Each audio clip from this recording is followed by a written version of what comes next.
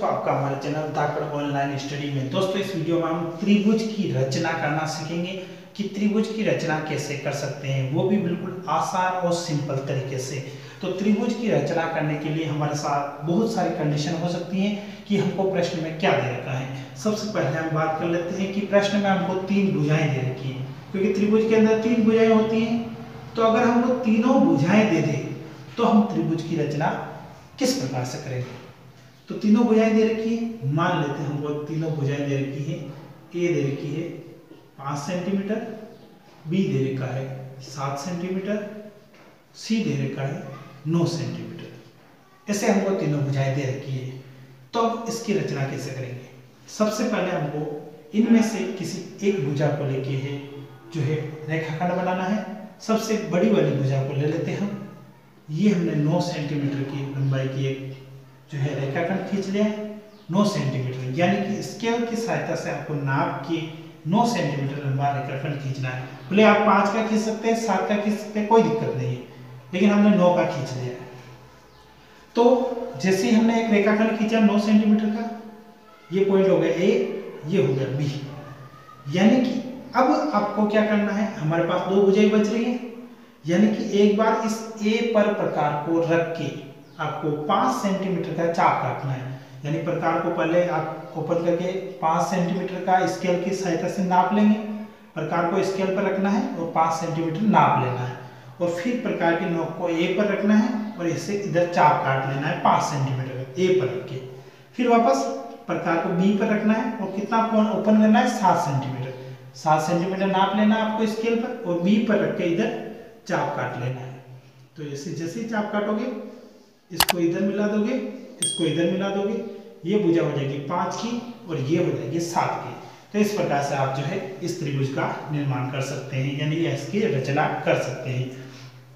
अब रचना के बिंदु भी आप लिख सकते हैं कि सर्वप्रथम हमने एक रेखाखंड ए बी नौ सेंटीमीटर का खींचा बिंदु ए से पाँच सेंटीमीटर का चाप जो है बिंदु सी की तरफ़ काटा और बिंदु बी से सात सेंटीमीटर का चाप बिंदु सी की तरफ़ काटा। सी की तरफ़ से जो चाप मिलेगा वो यानी सी पॉइंट आ जाएगा और सी पॉइंट को ए और बी से हम मिला देंगे। उसके बाद दूसरी कंडीशन की अगर हम बात करें तो हमारे पास जैसे दो भुजाएँ दे रखी है हमको और एक हमको कोण दे दिया है। यानी कि एक हमको कोण दे रखा है। जैसे मान लेते हैं हम, एक कोण हमको साठ डिग्री का दे रखा है। यानी दो भुजाएँ और एक कोण। इधर बात करें, दो भुजाएँ और एक कोण की। अब इसकी रचना कैसे करेंगे हम? सबसे पहले हम एक बड़ी भुजा लेके, यानी सात सेंटीमीटर लेके जो है ऐसे एक रेखाखंड खींच देंगे। ये भुजा हो गई हमारे पास सात सेंटीमीटर की। अब क्या करना है हमको? हमको बनाना है कोण। कितने डिग्री का? साठ डिग्री का।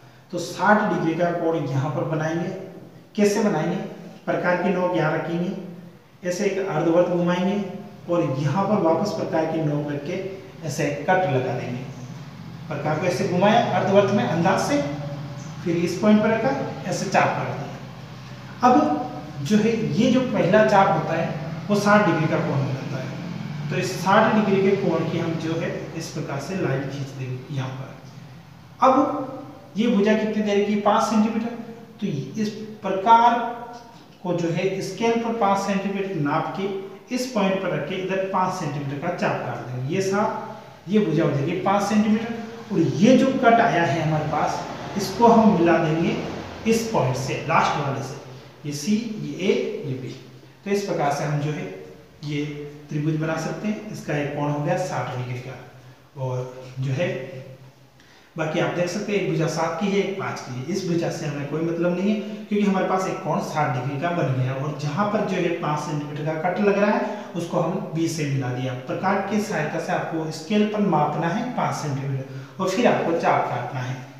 अब अगली अगर कंडीशन की बात करें तो उसमें आपको जो है एक भुजा और दो कोण दे रखे हैं। यानी कि एक तो भुजा दे रखी है, और दो आपके पास है कोण। अब इसका डायग्राम कैसे बनाएँगे? तो एक भुजा और दो कोण। एक कोण दे रखा है आपको 60 डिग्री का, एक कोण दे रखा है आपको 45 डिग्री का। ठीक है, अब इसको कैसे जनरेट करेंगे हम? या सबसे पहले आपको पाँच सेंटीमीटर की लाइन खींच लेनी है। ये पाँच सेंटीमीटर जो भुजा दे रखी है, वो हमने लाइन खींच ली यहाँ पर। ए बी पाँच सेंटीमीटर की लाइन खींच ली। अब एक कोण पैंतालीस का बनाना है, एक साठ का बनाना है। तो यहाँ पर हम बनाएँगे पैंतालीस डिग्री का कोण ए पॉइंट पर। चाहे इस पर साठ बनाओ, चाहे पैंतालीस बनाओ। सबसे पहले हम पैंतालीस बना रहे प्रकार को यहाँ पर रखा, अंदाज से एक अर्धवर्त घुमाया अर्धवर्त के इस पॉइंट पर रखा, पहला चाप साठ का, दूसरा चाप 120 का 60 और 120 पर रख के यहाँ पर हम एक 90 का कोण बना लेंगे। ये जो कोण है, डेश डेश वाला, ये हो गया हमारे पास 90 डिग्री का कोण। फिर 90 वाले पॉइंट पर रख के और ज़ीरो वाले पॉइंट पर रख के, यानी प्रकार के नोक को यहाँ रखेंगे और एक बार ज़ीरो पर रखेंगे और ऐसे दो चाप काट देंगे और ये दोनों चापों से कोण खींच लेंगे। ये कोण हमारे पास आ जाएगा 45 डिग्री का। उसी प्रकार यहाँ पर बनाना है 60 डिग्री का कोण। प्रकार के नोक को इस बी पॉइंट पर रखा। अंदाज से कैसे अर्धवर्त घुमाया? फिर प्रकार के नोक यहाँ रखेंगे।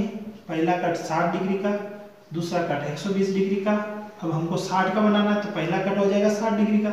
तो इस पहले कट को मिलाते हुए ऐसे लाइन खींच देंगे। तो ये जो है, हमारे पास त्रिभुज बन जाएगा। यानी जिसके दो कोण दे रखे हैं और एक भुजा दे रखी है। तो इस प्रकार से आप इस त्रिभुज की जो है रचना कर सकते हैं। रचना के अंदर बात करें तो सर्वप्रथम हमने भी पाँच सेंटीमीटर का रेखाखंड खींचा। बिंदु ए पर पैंतालीस डिग्री के कोण की रचना की। बिंदु बी पर साठ डिग्री के कोण की रचना की। इस प्रकार से हमें बिंदु सी प्राप्त हुआ और ए जो है त्रिभुज बन जाएगा। तो दोस्तों, वीडियो पसंद आए तो वीडियो को लाइक और चैनल को सब्सक्राइब करना बिल्कुल न भूलें। धन्यवाद दोस्तों। मिलते हैं नेक्स्ट वीडियो में। तब तक के लिए जय हिंद।